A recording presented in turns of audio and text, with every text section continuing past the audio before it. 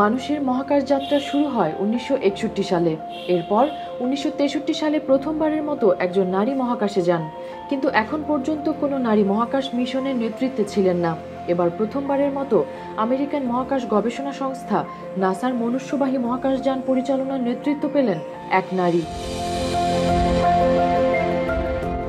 নাসার human space flight পরিচালনার নেতৃত্ব দেওয়ার জন্য সংস্থাটির হিউম্যান এক্সপ্লোরেশন অ্যান্ড অপারেশন মিশনের প্রধান হিসেবে ক্যাথি লুইডার্সকে নিয়োগ দেওয়ার পর এই ইতিহাস তৈরি হলো।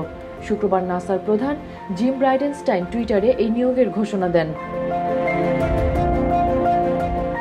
গত মাসে আমেরিকান বেসরকারি প্রতিষ্ঠান স্পেস এক্সের মহাকাশযানে আন্তর্জাতিক মহাকাশ স্টেশনে নভোচারী পাঠানোর মিশনের নেতৃত্ব দেন লুয়েডার্স সেই সফলতার অংশ হিসেবেই তাকে এই পদোন্নতি দেওয়া হয়েছে। নাসার প্রধান জিম ব্রাইডেনস্টাইন বলেন, বাণিজ্যিকভাবে মহাকাশচারী ও কার্গো পাঠানো উভয় প্রকল্প সফলভাবে পরিচালনা করেছেন ক্যাথি। তাই দু হাজার চব্বিশ সালে চাঁদে মহাকাশচারী পাঠানোর প্রস্তুতির অংশ হিসেবে এইচইওকে পরিচালনার জন্য তাকেই আমরা উপযুক্ত ব্যক্তি হিসেবে মনে করেছি। উনিশশো সালে নাসায় যোগদান করেন লুয়েডার্স। গত ত্রিশে মে বেসরকারি প্রতিষ্ঠান স্পেস এক্সের একটি মহাকাশযানে দুজন মহাকাশচারীকে আন্তর্জাতিক মহাকাশ স্টেশনে পাঠানো হয়, যার নেতৃত্বে ছিলেন তিনি।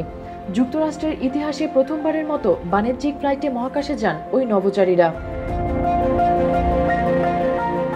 Mehrum Binte Ferdous Bangla channel news desk.